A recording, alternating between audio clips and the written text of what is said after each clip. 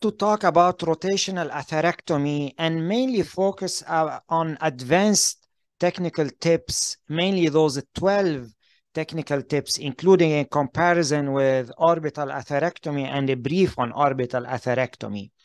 Those tips will be useful for advanced operators and fellows, but I do also want to provide some basics for the less experienced fellows. So I will start with this. This is the rotablator system. There are three major components. You have the burr, which is connected to this advancer system, which is connected to a console. This is the rotablator burr. It has diamond chips only on its front end. It doesn't have chips on the back end. So the burr only cuts forward. It doesn't cut backward. And that burr shaft is inside a Teflon sheath, which protects the coronary from the spinning of that drive shaft and it allows delivery of a glide solution. The burr is advanced through the Teflon sheath using that advancer knob. On the advancer, you have this rotablator knob. The knob has two functions. You can unscrew it this way in order to be able to advance the burr, and you push on it to activate the rotablator burr. The rotablation is activated by pushing on this knob and the rotablation remains active until you deactivate it by pushing on it again. You don't need to keep the push on it. It just, you push on it, it gets active. You push again, it gets inactive. And see how you can lock the knob in place two centimeter from the back of the advancer, which is, you know, one to two fingers. You have to lock that knob when you're advancing the whole system over the wire. You unlock it only when you want to rotablate and, and advance the burr. Every time you want to advance the whole system, your knob should be locked. It is unlocked only during active rotablation. Other knobs on the advancer are the brake defeat knob, which I will explain a little later, and the Dynaglide buttons. Dynaglide allows you to activate the burr at lower speeds. You can advance the whole system inside the guide and inside the coronary with no or limited injury while you're on the Dynaglide system. And you can remove the burr through the guide and sometimes through the coronary while on Dynaglide, which allows smooth, slippery removal with less friction. Dynaglide speed is 70,000 versus the rotablation speed is usually set at around 140 to 160,000. So this is much lower speed, which allows a slippery advancement and slippery removal of the system through the coronary and through the guide catheter. When you're advancing on Dynaglide, you have to have your burr locked. In order to enable Dynaglide, you push that button here, and then you can activate it by pushing this button, which will activate it intermittently for as long as you're pushing it, or you can activate it by pushing the rotablator knob button, which will keep it in Dynaglide until you push it again. This is an illustration of how to perform rotablation. We unscrew the knob, we push the button, then we advance slow in, fast out, slow in, fast backward. And we keep our runs at 10 to 15 seconds short runs and we give a break of approximately one minutes, one to two minutes between runs. You set up the rotablator speed at 140 to 160,000 RPM. Higher speeds have not achieved more cutting based on one study, but they were still shown to be safe based on another study. So if you need to use higher speed for a lesion that you cannot cross, you may up to 180,000. But the classic is to use 140 to 160 1000 RPMs. Now, this is how you activate the Dynaglide system. You push the Dyna button, then you defeat the wire brake, then you can activate it either, either intermittently via this button or persistently via that knob button. Once you've pushed the Dynaglide here to enable it, when you push the knob button, it will go into Dynaglide system, not Rotablator 140,000 system. So you push this, then you activate intermittently via that or persistently via this until you push it again, this one, and it will stop the Dynaglide. But if you're planning on advancing or removing the system on Dynaglide, you have to break defeat the wire by pushing this button before you activate Dynaglide. Now, regarding the rotablator wire, it is a 0.009 inch wire that ends 0.014 inch at the very tip. So as a result of that, it's very flimsy. And in addition, it has no hydrophilic coating to prevent shearing it. So it's difficult to torque and it's difficult to advance through the coronary. That's why usually we uh, wire the lesion using a workhorse wire, then we exchange for a rota wire using a microcatheter. Also, it's a long wire 325 system, and the rotablator system, advancing it and removing it is an over-the-wire system, and I'll provide tips of how to do that efficiently. So there are two types of rota wires, the rota wire floppy and the rota wire extra support. Overwhelmingly, we use the rota wire floppy. The RotaWire extra support is problematic because it can straighten the vessel and it can, the wire itself can hug and get stuck against the lesser curvature of the vessel, which can lead to uh, cutting in an eccentric fashion and causing a risk of perforation. Therefore, we usually don't use RotaWire extra support except for ostial rotablation, which I will describe later, and sometimes for distal disease where you need support to advance the rotablator system. Those are the burrs that we use in rotablation. Eh, there are different sizes, 1.25, 1.5, 1.75, 2, and above. Generally, you need six French uh, system, guide system for 1.25, 1.5, seven French for 1.75, and eight French for two millimeter and above.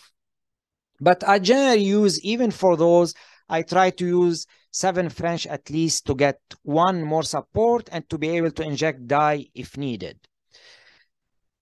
Note an important idea here. Note the olive-shaped 1.25 millimeter burr versus the more rounded larger burrs. That 1.25 millimeter olive-shaped burr tend to spring forward like a bullet when you activate the knob rotablator button. And therefore, it's risky because it springs forward like a bullet. It may cross the lesion without cutting it, just from that initial spring release of tension of the burr. And therefore, it can get past the lesion without cutting it and it can get stuck past it.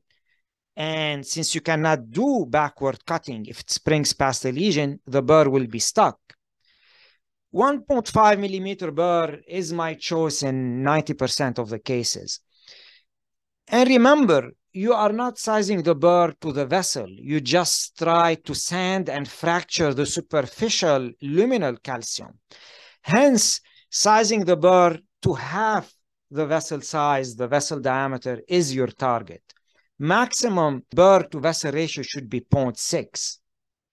For example, for vessels in the 2.5 to 3.5 range, I overwhelmingly use the 1.5 millimeter burr. I use the 1.75 burr for vessels around 4 millimeters, and I would consider the 2 millimeter burr for vessels larger than 4 millimeter but that's rare. Again, overwhelmingly, it's 1.5 millimeter burr. Now, when do we use the 1.25 millimeter burr? One, mainly we use it in extreme angulations where there is a higher risk of perforation with larger burrs, or with lesions that cannot be crossed even with a microcatheter, those extremely tight, uncrossable lesions. We may do a step-up strategy where we start with a 1.25, then step up to 1.5 millimeter burr. We connect the Rota Pro Advancer to the console through those cables, which contain the nitrogen gas cable, uh, the fiber optic cable, and the Rota Glide flushing solution cable. Importantly, we run a flushing solution that contains that slippery material called Rotaglide. We put with it heparin. Do not put any more nitroglycerin and verapamil. People used to put nitroglycerin and verapamil in the, in the flushing solution. And it turned out that most of the hypotension you get when you're doing rotablation is from that flush solution. And actually, that was my early experience with it as well. I used to get a lot of hypotension with rotablation, and I used to think it's rotablation. But once I stopped using those, I very rarely get hypotension with rotablation. In fact, I tend to believe that rotablation is more tolerated than balloon angioplasty in terms of hypotension. Uh, as long as you're keeping your rotablation runs brief, less than 10 to 15 seconds. And as an, as an extension of that point, should you use a transvenous pacing when you're doing rotablation? It is less commonly required today with a proper technique and with eliminating verapamil from the glide solution. I still use it in RCA, dominant left circumflex, or uh, any left coronary atherectomy with CTO of the RCA. Basically, the RCA is getting collateral from the left. Alternatively, because it's becoming uncommon to have a profound bradycardia with the current techniques, you may just not put a pacemaker at all, and some operators don't put a pacemaker at all. They use a standby atropine or aminophylline IV. Now, those are the steps before inserting the rotablator into the body. This is what we call the draw. Basically, you connect your advancer to the console and you start dripping that rotaglide. Then you load onto the wire and you see the wire coming out. It's an over the wire system. You will see it coming out at the back end of that advancer. And then you test the burr and you set up the speed at, let's say, 155,000 RPM. And you test the advancer you loosen the screw on the knob and you move back and forth and you see the burr moving back and forth. Then you lock that burr two centimeters from the end.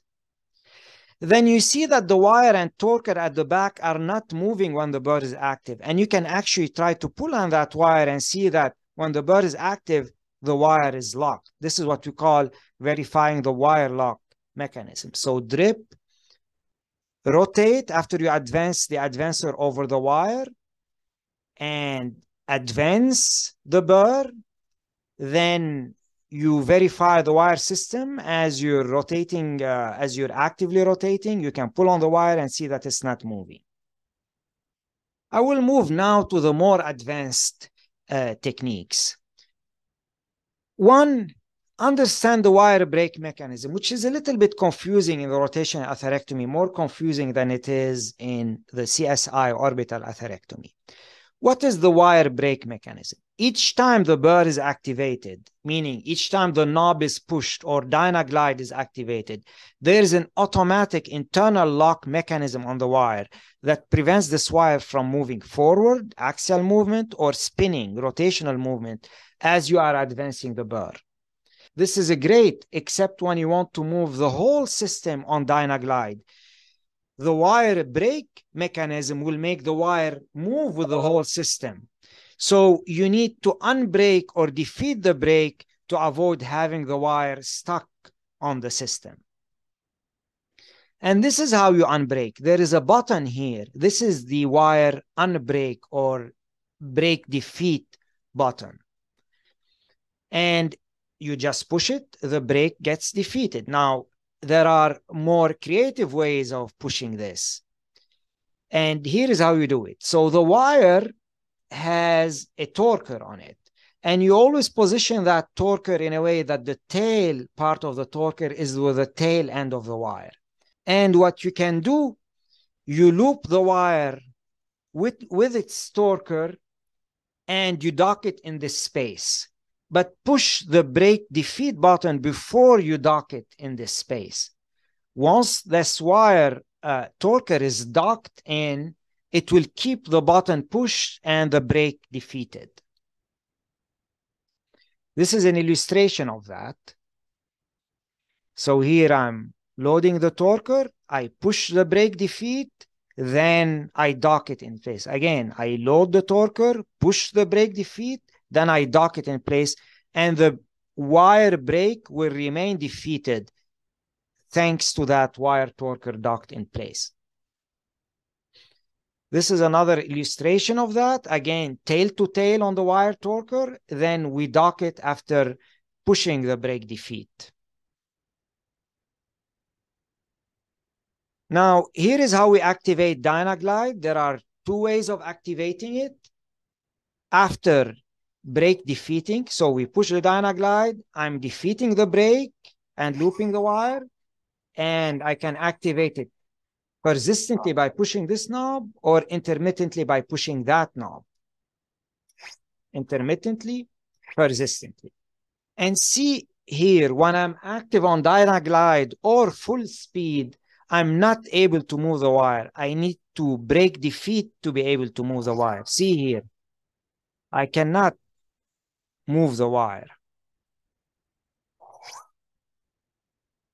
Another idea is when you defeat the brake, this wire torquer will provide the extra purpose of preventing the wire from spinning. It is, in fact, a good habit to always keep it in the back of the wire, whether you are on Dynaglide or whether you are active rotablating or not. Second tip. So I said that usually we wire the lesion, especially when it is a tight lesion, using a standard workhorse wire and we exchange with a microcatheter for that rota wire, that flimsy, floppy, difficult to torque wire. However, what can what to do if the your standard workhorse or polymer wire crosses the lesion, but the microcatheter cannot cross, and therefore I cannot exchange for the rota wire. So in those cases, what we do, let's say the lesion is here, and we've already crossed it with the whisper wire. So what I do, I advance a microcatheter all the way to the mouth of the lesion. I cannot, I haven't been able to advance the microcatheter all the way down, but I advance it all the way to the mouth of the lesion. Then I take this wire and I try to wire the lesion with the rota wire. Once you have a catheter just at the mouth of the lesion, usually it's easy to maneuver the rota wire through the lesion. So that's one technique. Another technique, if you have no success with that, if even by placing the microcatheter at the mouth of the lesion, you cannot wire directly with the rota wire, in that case, you may need to try laser first, because laser can be advanced over any wire, including your workhorse wire. Then after you do your laser, then you may do rotablation if needed. You know, you do your laser, then you exchange for a rotawire, then you do rotablation if needed. Third tip I want to describe, a very important one, is how to advance the rotablator system over the wire into the guiding catheter. Remember, the rotablator system is an over-the-wire system. You have to advance a bulky advancer over the wire.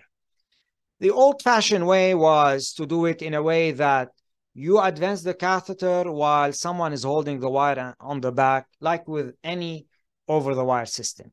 This is not the best technique. So the way we do it these days is the following.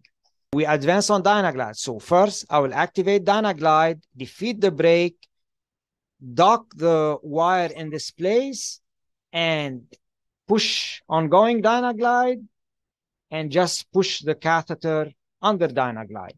See how that wire loop is growing. Nobody's holding the wire for me. The loop is growing. You need to do it under fluoro to make sure indeed the wire tip is not diving, but it usually works.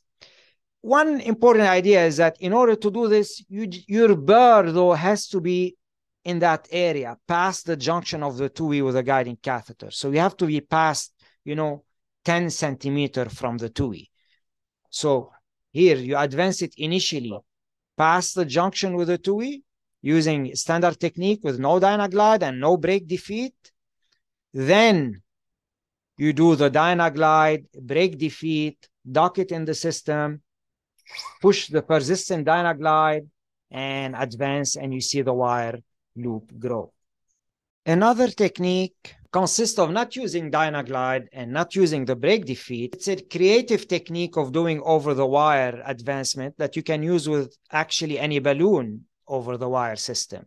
You create a loop with the rotablator catheter and you will see here one hand advances the catheter while the other hand pulls back and you adjust how much you push with how much you pull. You use the same force to push as how much you pull. This is also a single operator technique. And since it's one operator doing it, you know how much force you're exerting to advance and how much force you're exerting to pull, and you make those two forces equal. But the best technique, I think, is the use of Dynaglide. Fourth tip is how to remove the rotablator from the guide over the long wire. So I explain how to advance it, now how to take it out. The standard technique is one we take, we always take it out under, under Dynaglide. Okay, that's there is no argument about that. We take the system out under Dynaglide. Now, one way of taking it out under Dynaglide is to do the old-fashioned way, is that you activate Dynaglide, then you push the wire while pulling the system. Unlike other over-the-wire systems, you really need to push the wire. You don't just spin the wire and pull the catheter. You need to push the wire while pinning the catheter. It's hard to keep that wire in place. If you just pin and pull, you'll end up pulling the wire. You have to push the wire while pulling on the catheter. And this is an illustration of that. So Dynaglide and brake defeat, and I activate it with this button. So here again, Dynaglide, I brake defeat and I activate. So I have two fingers, one on the brake defeat, one on the Dynaglide activation, and I'm taking it out. You can activate Dynaglide with this, but for that maneuver, it's easier to push here. Another way of doing the same thing is to defeat the brake using the wire loop and wire torquer, docking it into the space. And here we wire looped and docked it the token in this space, and we're practically doing the same thing, except just the wire is docked in this place. Now, the second big technique of taking the uh, rotablator out is what I call the single position technique. So unlike those where you're pushing the wire and pulling the catheter and you're moving your body, this technique, you stay in place. And this technique is effective usually after pulling the burr into the descending aorta and after having some slack on that burr catheter. Okay? So you have to open the Tuohy fully. And what you do in place, you don't pull the advancer. You just push the wire. You just push the wire and the whole system will come out. See, I'm pushing the wire here and the catheter loop is growing, telling me that this catheter is coming out. And I didn't pull on that advancer system. All I did is I push on the wire.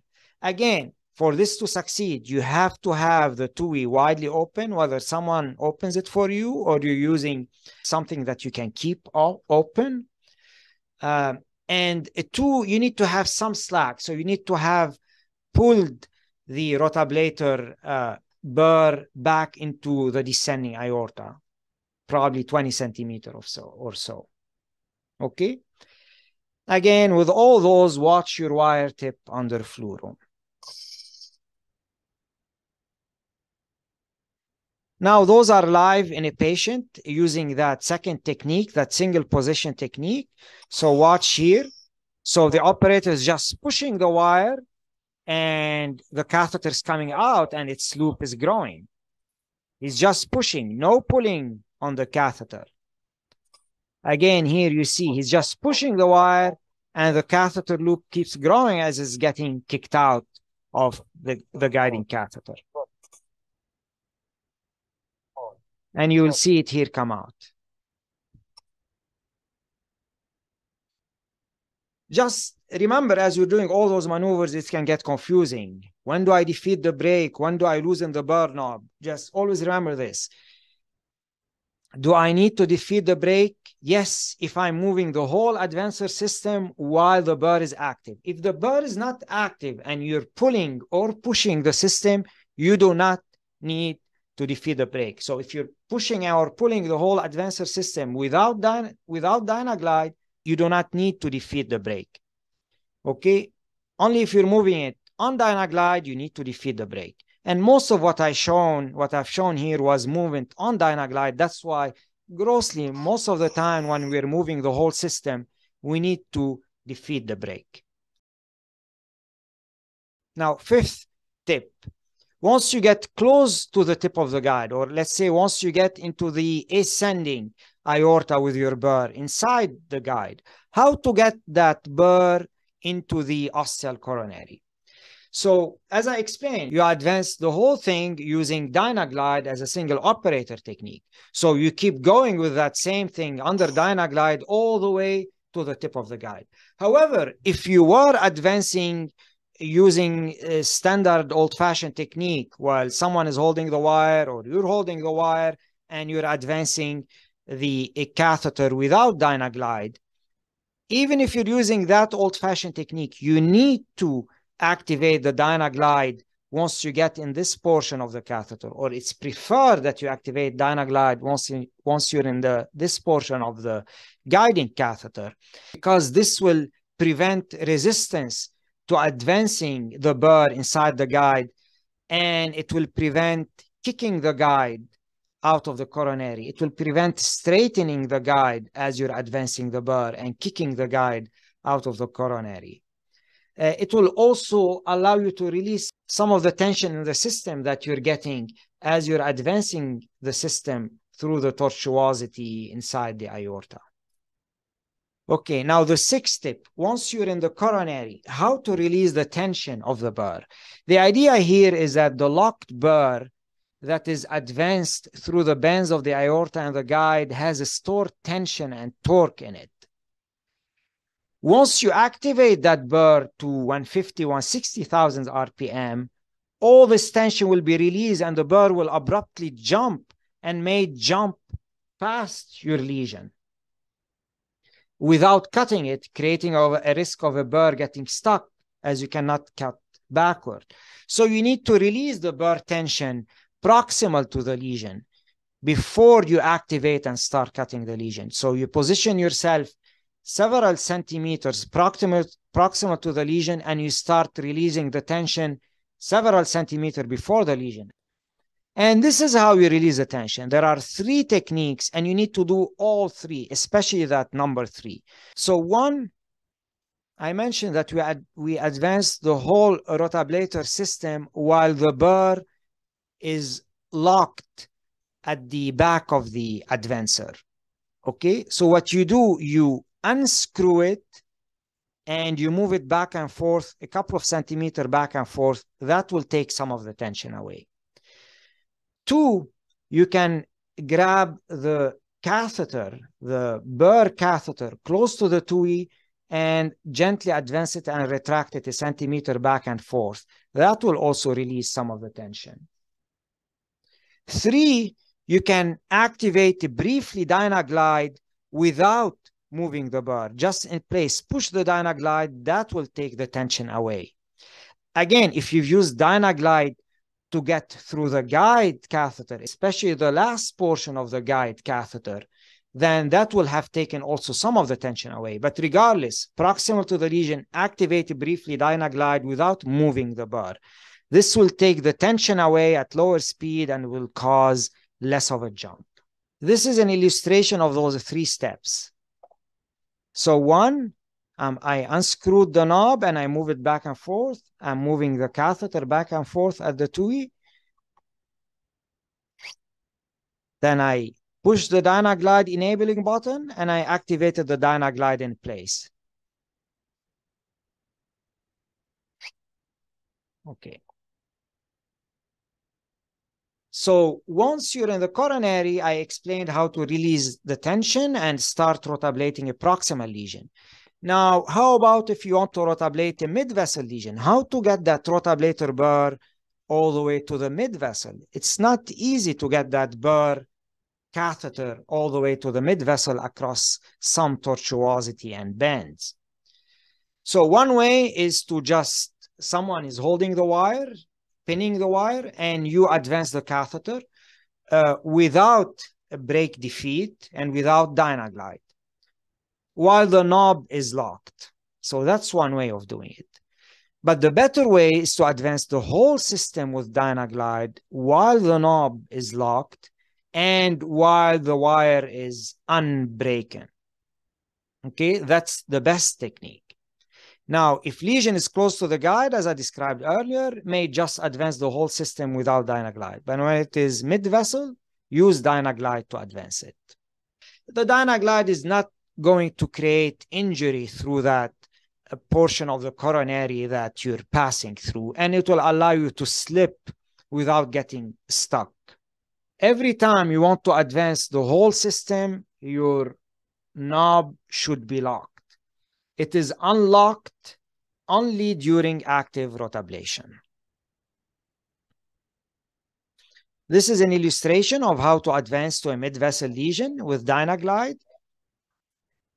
So again, we uh, brake defeat. We use the brake defeat mechanism using, in this case, docking the torquer. Then we push Dynaglide. Then my assistant here will push the Dynaglide button, the intermittent Dynaglide button, and so that we stop as soon as we reach the area that we need to reach. I don't like to use this button to activate Dynaglide in this situation because as I'm advancing, if I have issues advancing or the burr is getting stuck somewhere, I want to immediately be able to stop uh, the Dynaglide. Now, eighth step, and very important step, how to burr across the lesion. What is the technique to burr across the lesion? So it's the pecking technique. Let's say this is our lesion. One, I try to never penetrate it in one shot. I try to peck at the lesion. So I touch it off and on without any heavy push, without any stall. Burr should never remain in one place. It's constant movement. Slow in, fast out. You're not cutting backward. So there's no point of going slow backward. You go slow in, fast backward. And you never stall. It's always in and out. Slow in, fast out. It's you limit to three, four centimeter per pass, and you always finish proximal to the lesion. You don't finish your burring in the middle of the lesion. You go in, you go back out, and you finish your run proximal. You keep your runs brief, less than 10 to 15 seconds. No more than 20, but especially 10 to 15 seconds the first two, three runs. You avoid decelerations more than 5,000 RPM and you take a break of at least 30 seconds, typically one to two minutes between runs, so that you clear the microemboli between runs. Don't try to penetrate the whole lesion in one pass, in my opinion. You will generate too much heat and too much microemboli. Penetrate the lesion progressively, more and more with every pass, as I'm showing here. The first pass, 10 to 15 seconds, we're pecking at this portion of the lesion. The second pass, we're pecking all the way to the middle of it. Third pass, three quarter. Fourth pass, we cross it. The, the more eccentric the lesion, the more angulated the lesion is, the more you have to be careful. It may take you four or five passes before you fully cross the lesion. Patience is a virtue in those cases. So take your time. No need to rush and keep the runs brief and take uh, breaks between runs. The idea here for the breaks is that with rotablation, you embolize small particles that are less than five microns, smaller than the red blood cells. And those particles are drained by the microcirculations because they are very small. Uh, it's like throwing particles of sands into a drain a handful of sand is not going to plug your drain. But if you pour a whole bucket of sand, it will clog your, your drain. That is why we keep our runs short to minimize the number of microemboli, not the size, the number of microemboli.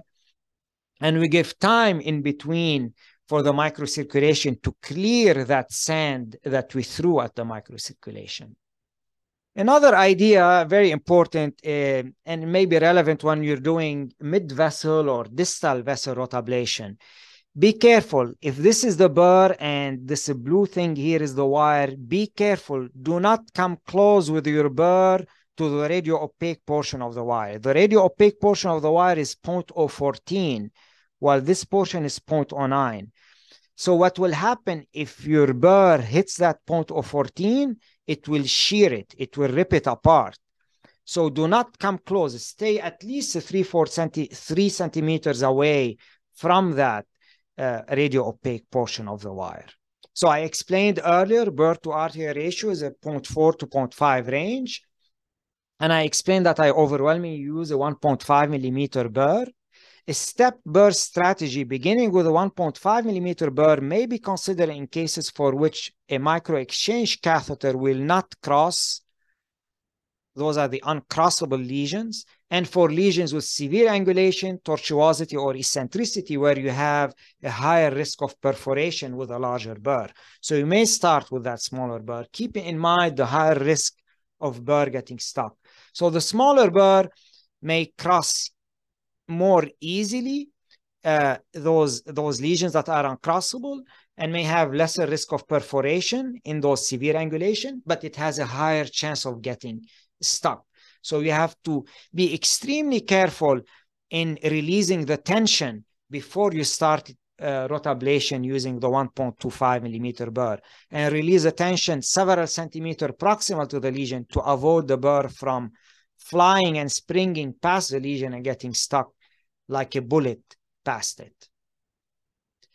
Now, in cases where you start 1.5 and you don't manage to cross the lesion after four or five passes, you can downsize to 1.25, especially also if the if the, with the 1.5 you start getting excessive decelerations. On the other hand, if you start with 1.5 burr, but uh, even after 1.5 burr, the lesion remains undilatable, your balloon still doesn't yield after 1.5 burr, then you can upsize the burr uh, in this case and use 1.75 burr after your initial smaller burr.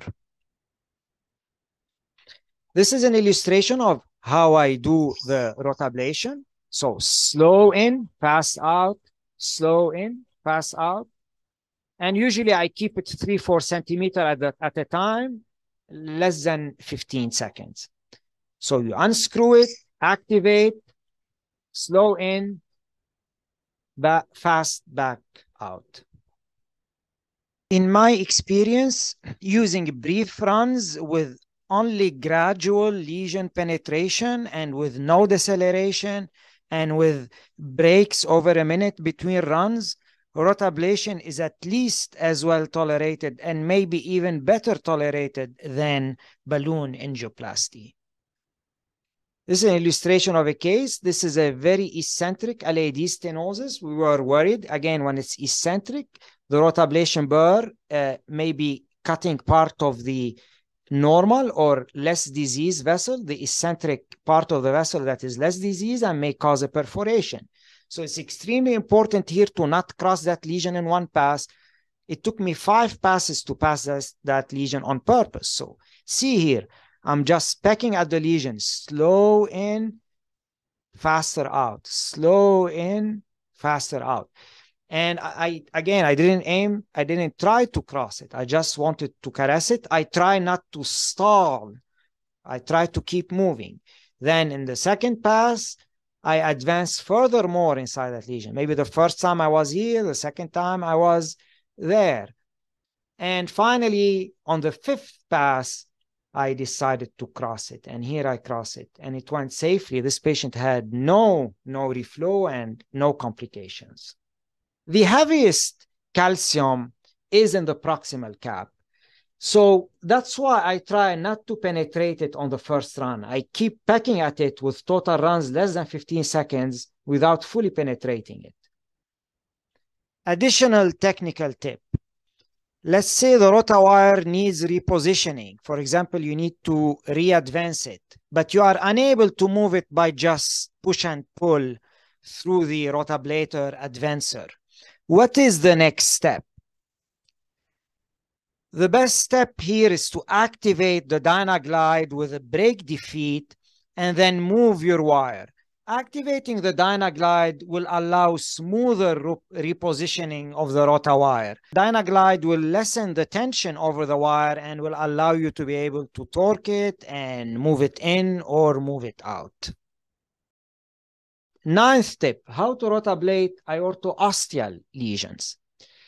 So one, you have to disengage your guiding catheter slightly until you are no longer ventricularized.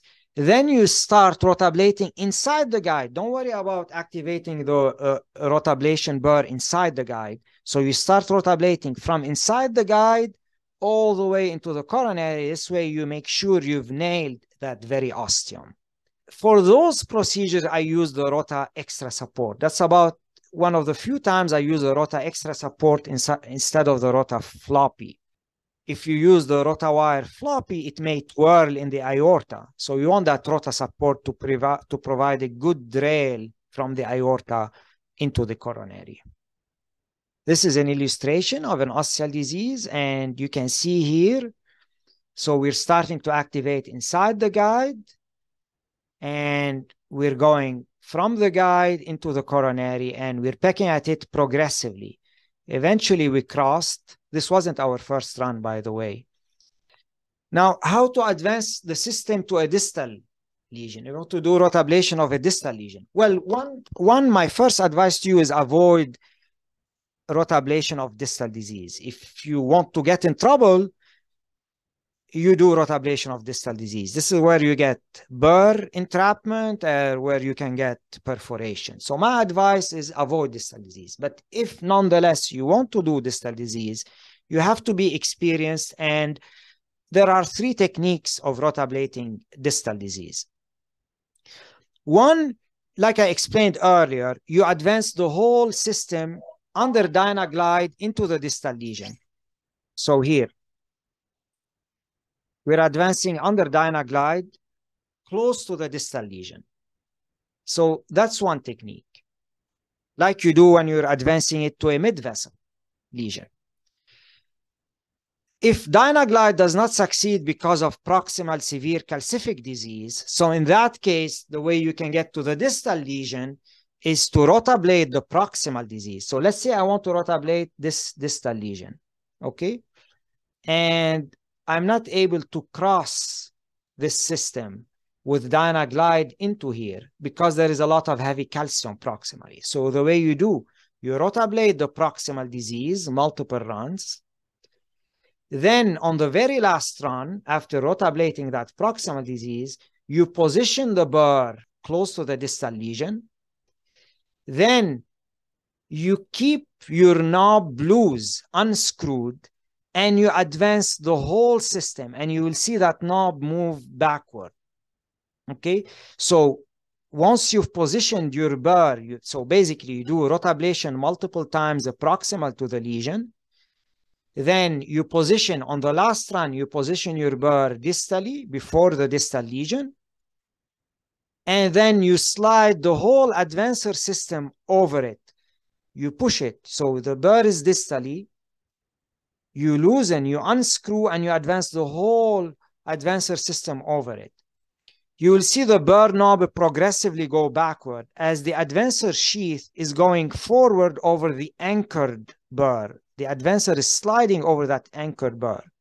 Now the whole system, burr and drive shaft are distal and you have more reach. And this is, by the way, the only time you advance the whole system while the knob is loose. Normally, like I explained earlier, always we advance the whole system while the knob is tight. You only loosen it in this particular case. The third technique is to advance a guide liner distally, at least a seven French guide liner, put it distally so that you advance the burr distally through it. So you advance the guide liner distally, but you position it proximal to the lesion, then you advance the burr through the guide liner. And this way you won't have to cross all the proximal calcium before your distal lesion. But again, my advice, avoid distal rotablation, high risk of burr stock. And if done, consider using 7-8 French guideliners stationed distally to reduce the risk of burr entrapment. That technique C. Along those lines, another idea in rotablation in general is when you have a proximal and a distal disease, you rotablate and finish polishing the proximal disease first, then you advance your whole advancer and rotablate the distal disease. So unlike with stenting, where you stent distally, then stent proximally, typically with rotablation, you rotablate proximally, finish polishing proximally, then you move on and you move your whole advancer system distally and you start rotablating distally. Now, 11th tip, how to treat ostial left circumflex at a 90 degree angle. So take this patient. He has a 90% calcified ostial left circumflex, but it's coming at a 90 degree angle. The highest risk of complication with rotablator is when you're performing it across severely tortuous or angled segment when your lesion is at a 90 degree angle. So it used to be a relative contraindication. It isn't. We do it but there are particular precautions you need to follow. So in order to do rotablation at a 90 degree angle, you have to basically annihilate and eliminate that angle. And the way you do that, two ways. If your left main is short, you advance your guide all the way through the left main onto the mouth of the left circumflex. And you basically make your guide in line with the lesion so that you avoid rotablation at a sharp angle. Now, if your left main is long, you cannot advance the guide so deep. So what you use, you use an 8 French guide liner. 7 French can work, but best use 8 French guide with an 8 French guide liner. Advance your 8 French guide liner deep in the left main and position it at the mouth of the left circumflex, making it in line with that ostium and again eliminating the 90 degree angle. Then you start rotablating from inside the guide liner all the way into the circumflex ostial stenosis. And that's kind of what we did here. We advanced the left main deep. You see there is there isn't much of an angle anymore. And here we see when we crossed. Okay, we're pecking at it and we crossed it. It isn't 90 degree angle anymore. We kept the guide close to the lesion to eliminate that 90 degree angle as in this here. An important thing also, when you're doing those angled and tortuous vessel, high risk of perforation, again, key is to do short runs and not try to cross that lesion in one shot. We cross this lesion after at the fifth pass, so take your time. Now, 12th tip, how to treat burr entrapment.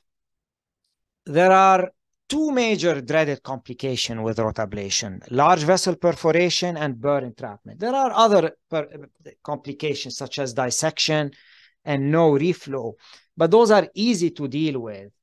The complication I will discuss here is burr entrapment. Let's say we got that burr entrapped past the lesion, okay, whether because you didn't release tension and when you activated, it sprung past the lesion and it got stuck there, maybe 1.25 burr.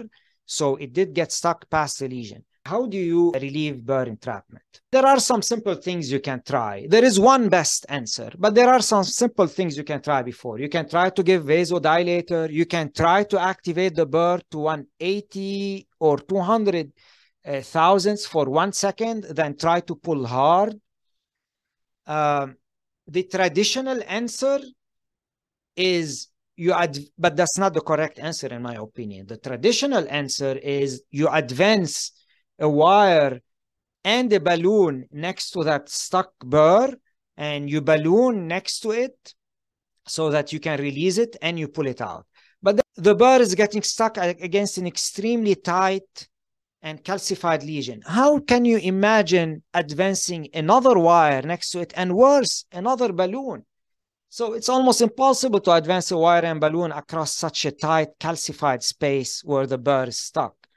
Second, there is no room inside your guide to advance a balloon, and a wire. There is only room usually for that rotablator burr. So in order to do that wire and balloon, you have to place a second guide, a ping pong guide, and do double engagement with another guide and do that. But that's not a good technique. The single best technique is guide liner. That's the answer, guide liner. You advance a guide liner. Let's say this is uh, a seven French system. You advance a seven French guide liner and you pull the burr inside it. You advance it deep, close to the burr, and you pull the burr inside it. Uh, the, the burr that is being stuck will provide a good rail for you to advance the guide liner distally. Then you can pull hard on it and get it in the guide liner. However, how do you advance a guide liner once the burr is in place? You can advance a burr through a guide liner once a guide liner is in, is in place. But when a burr is in place, you cannot in a straightforward fashion advance a guide liner over it. So there is a technique to do that. The idea here is you see you have an you have a catheter and an advancer and you cannot advance a guide liner over that. So you have to cut that uh, catheter from the advancer system and you take the Teflon sheath that is over the burr catheter, you take it out so that will create more room then you advance the guide liner over that. Okay. You may not need to remove the Teflon sheath uh, if you're using a 7 French guide liner. A 7 French guide liner will fill the catheter and the Teflon sheath. But you need to take out the Teflon sheath with 6 French guide liner. And, you know, why not take it out anyway? So you need to cut this and advance the guide liner over the system. Often with taking out also the Teflon sheath of the burr. And then you advance it over the burr catheter, the guide liner. Now, final section number 13 is a brief on orbital atherectomy and the differences between orbital atherectomy and uh, rotational atherectomy. So orbital atherectomy, look at, look at the catheter here. The burr is positioned eccentrically and orbitates eccentrically. Unlike the rotablator burr, which is located centrally and rotates centrally. The rotablator burr will only shave its diameter. So you have 1.5 millimeter burr, it will shave at the 1.5 millimeter diameter. Conversely, the, the, the rotational atherectomy burr orbitates eccentrically to a distance larger than the burr size. Hence, the orbital coronary orbital atherectomy only comes in one size 1.25 millimeters because you can make it orbitate to 1.85 millimeters another difference with rotational atherectomy is that note the burr unlike the burr of the rotational atherectomy there is a nose cone past it you see this there is a nose cone past it so which means this is where you cut or sand the lesion meaning you have to cross the lesion with this whole thing before you can send it. Unlike the rotablator, where the burr is at the very end of the catheter, there is nothing past it. So you have the burr and immediately past it the wire. So you can just touch the lesion and cut it directly with the burr. There is nothing that you need to cross the lesion with before except the wire. Whereas with the orbital atherectomy, there is five plus millimeter of tube that needs to cross the lesion before you can start cutting and sending it. And that's a major downside for uncrossable lesions. You're not going to be able to do CSI because you're not going to be able to cross it with this uh, portion of the CSI catheter. Okay. Now, in terms of burr, I mentioned it's only one size for the coronaries, 1.25 millimeter, and there are two speeds 80k and 120k unlike the 140 to 160k that we use in rotational atherectomy another important difference is the burr has both frontal and backward cutting so you have less risk of the burr getting stuck because it's cutting in both ways frontal and backward and here you see the eccentric sending of the orbital atherectomy. So it doesn't stay in the center, it orbitates. And the higher the speed, the more it orbitates, the further away it orbitates. So this is the equation that shows you what's the centrifugal force on that burr, the force that throws it eccentrically. It depends on the speed. The faster the speed, the further away it orbitates. Another very important idea is that not just the faster, the faster the speed, the more you orbitate. So 120, you orbitate more than 80. But in reality, and more importantly, the slower you move it forward, the further out you orbitate. It's even more important for the orbital mechanism than for the rotational mechanism to move slowly one millimeter per second. With the orbital mechanism, if you move the burr fast, as in here, the green, the burr will spring and orbitate forward and less so sideways. It will orbitate, it will jump and orbitate forward, and a lot of its energy will be spent forward rather than sideways. So moving slowly will create a larger spiral and larger eccentric cutting. Even with 80,000 speed, if you move slowly, you're going to get a lot more orbital gain and larger diameter cutting than if you use 120,000 at a fast rate.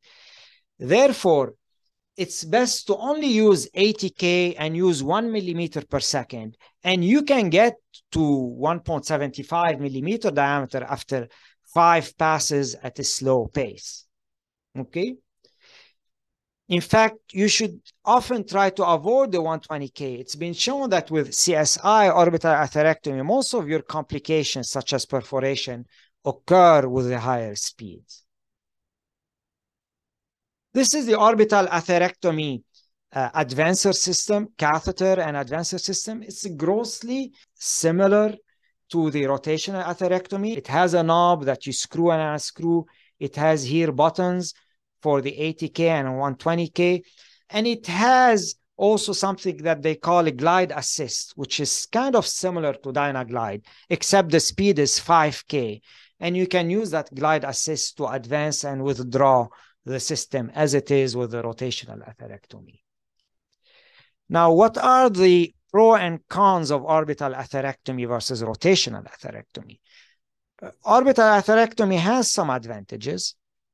It's six French for all vessels, okay? Because again, you can get up to 1.85 millimeters uh, with the 1.25 millimeter burr, which goes into the six French uh, guide catheter.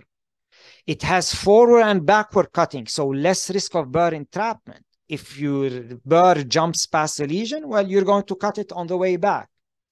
So less risk of burr entrapment. And it is important in uh, orbital atherectomy to use a slow forward and slow backward movement. In rotational atherectomy, I use slow forward, fast backward movement. With this, use a slow forward and slow backward movement. Same thing, keep the, your runs 10 to 15 seconds. Now, uh, another advantage is that you have better guide wire. The guide wire of CSI is 0.012 inch body instead of 0.09 009 inch body the tip is the same 0.014 inch but the fact that you have a bigger body and it's better design it's actually easier to torque and easier to wire with it and it may be used more readily as a primary wire another advantage is that because the catheter is uh, smaller and it fits in six french guide catheter you may use a trapper if you're using seven french guide you may use a trapper to advance and withdraw the CSI, which is something you cannot do with rotational atherectomy as the space is too tight for you to fit a trapper. Another advantage is a simpler brake defeat mechanism. So they have a brake defeat mechanism here, but it's simpler. Anytime you're advancing the whole system, you need to defeat the brake. And anytime you activate the burr, you need to put the brake on. So you put the brake on when you activate the burr, when you're basically cutting, and you release brake when you're moving the, the catheter in and out, whether you're on glide assist or you're not. So it's easier to understand that system. Another questionable advantage this time is less no reflow, less need for pacing. Uh, this may not be true in the current era with the proper rotablator techniques. Cons of orbital atherectomy, it has a nose cone in front of the burr. So if lesion is uncrossable with microcatheter, CSI nose cone will not cross. This is the uh, one of the biggest downside. The second big downside is severely angled or tortuous or eccentric lesions. You should avoid CSI in severely angled or tortuous or eccentric lesions. Whereas you can do carefully rotablation, you cannot do CSI. CSI creates deeper cut than rotablation and may orbitate excessively at a bend and excessively at a wire bias location where the wire is hugging the wall. Therefore, CSI creates more dissection, deeper dissection, and more perforations in severely angled or eccentric lesions compared to rotablator. Also, CSI should be avoided in vessel less than 2.5 millimeter, again, because it orbitates deeply and it creates a high risk of perforation in those small vessels. This is a study that showed that you get higher dissection and perforation rates with orbital atherectomy, particularly if you're using the 120K. If you want to be safe, you're using it in cases where there is some angulation and tortuosity, don't go more than 80K and stay slow with short runs. This is another study. It's an OCT study. It shows that the orbital atherectomy dissections were significantly deeper than rotational atherectomy dissection. You create deeper cuts, lacuna with orbital atherectomy than with rotational atherectomy. This is a great if you want to achieve better stent expansion in large vessels, such as a left main, but it's not good for sharp angles and for small vessels. So to give you the bottom line myself, I prefer generally the uh, rotational atherectomy. Orbital atherectomy has some advantages, but it has two disadvantages, I think, that keeps me away from it. One of the advantages of orbital atherectomy is left main. You can use six French orbital atherectomy in a large left main.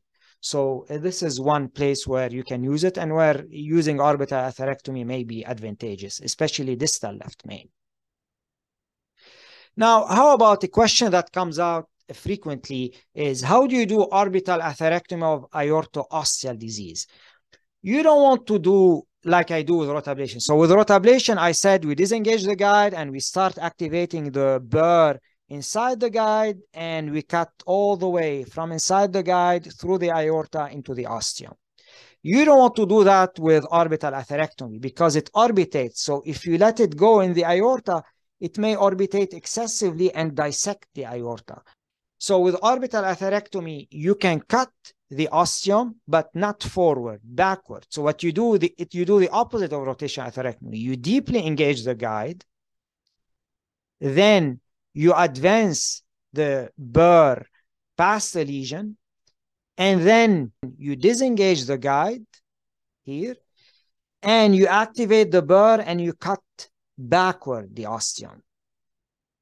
Then, once you're back in the guide, you can do the same thing again. Re-advance the guide, re-advance the burr, disengage the guide, cut backward. This is an illustration uh, of a patient with, he had mid-LAD stenosis. He also had ostial stenosis on another view. We used CSI in this patient. And the way it was done, CSI was advanced while the guide is engaged. CSI of the LAD was done. Then we disengaged the guide and CSI was pulled back slowly to cut the ostium while the guide is disengaged. Then you can re-engage the guide, advance the burr, then disengage the guide and cut back slowly again on the way back.